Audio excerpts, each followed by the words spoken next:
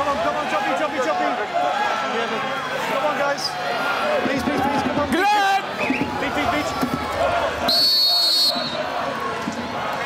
Come on, guys. This, yeah, I know it's hard because 45 seconds is not long, but we need it just a little bit quicker. Yeah. Three. Okay. On the whistle. Not yet. On the whistle. So Hoffman gets ready to inject. Out it comes. Ciriello shoots. Oh! The rebound. Oh, penalty stroke, says Hamish Jamson. The umpire's pointed directly to the spot.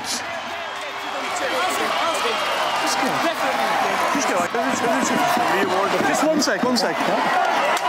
Takes it on his chest.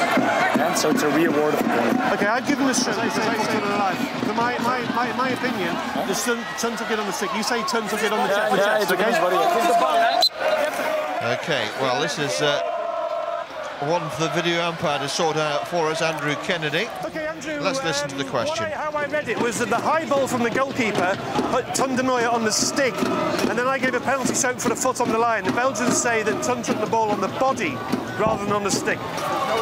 Okay, I'll have a look at that for you, Hamish. So I'm looking for the Dutch uh, body in the D.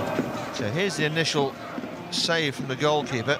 Yeah, it's hit Teun de Nooijer pretty much uh, straight in the middle of the chest. It should be a penalty corner. Uh, it hit uh, Teun de Nooijer in the chest, but the ball was dangerous off the keeper.